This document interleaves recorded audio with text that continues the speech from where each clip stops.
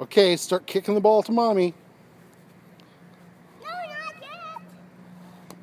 Holy cow, that went a long ways.